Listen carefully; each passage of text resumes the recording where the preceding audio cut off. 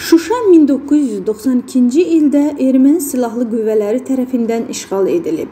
O vaxtdan bəri bu işğal ermənilər üçün böyük qələbə, azərbaycanlılar üçün ən ağır itki sayılıb.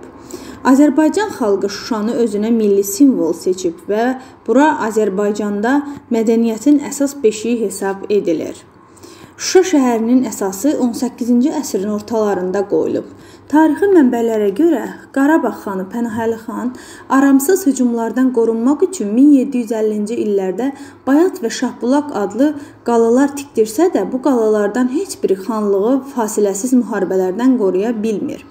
Qarabağ tarixini araşdıran Azərbaycan tarixçiləri yazırlar ki, dəniz səviyyəsində 1300-1600 metr hündürlükdə yerləşən və üç tərəfdən sıldırım qayalarla əhatə olunan dağ yaylası bu tələblərə tam cavab verdiyindən Pənahəli xan şəhəri elə burada salır. Şəhər əvvəlcə onun şərəfinə Pənahabad adlandırılsa da, sonralar Şuşa çağırılıb. Qarabağ xanlığı Rus-Fars müharibəsi nəticəsində Araz çayının şimalındakı digər xanlıqlarla birlikdə 19-cu əsrin əvvəllərində Rusiya imperiyasına birləşdirilib. Azərbaycanda Sovet dövlətinin ilk illərində 1921-ci ildə Şuşa yeni yaradılmış Dağlıq Qarabağ Muxtar vilayətinin mərkəzi kimi müəyyənləşdirilib. Lakin bu qərar 1923-cü ildə dəyişdirilib və mərkəz Xankəndinə köçürülüb.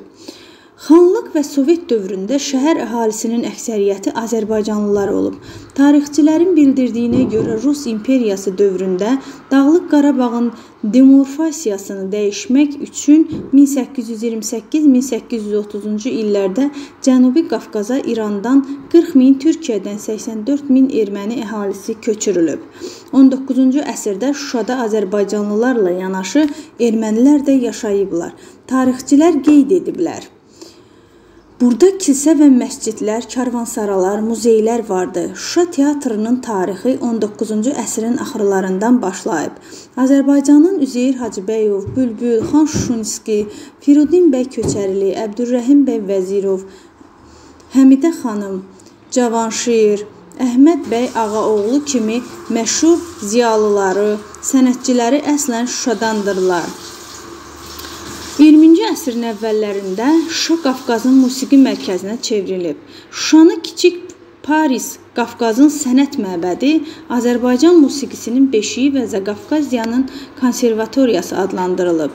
Şəhərdə Sovet dövründə tar, kamança, ud, nağara və digər musiqi alətləri istehsal edən yeganə Şərq Milli Musiqi Alətləri Fabriki fəaliyyət göstərib. Şəhər işğal olunana kimi orada onlarla muzey, bir neçə orta və ali təhsil müəssisəsi, məktəblər və kitabxanalar olub.